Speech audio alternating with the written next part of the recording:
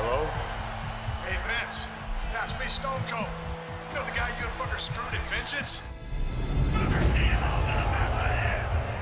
I'm calling you from the Green Frog grocery store. I'm gonna go right down to the aisle and open up a six-pack of whoop-ass on Booker T. Get your ass up! It's a good thing Booker came to the Green Frog grocery store because I had some shopping to do anyway. Austin! Austin attacking Booker T! That's disastrous! Hey, you want some flowers? Different free flowers. Excuse me, sir. Do you have any grapefruit bars? Still on alley! Please. Uh, make you some, Book. There you go. Nothing says loving like something from the oven. Nice Book. Got milk!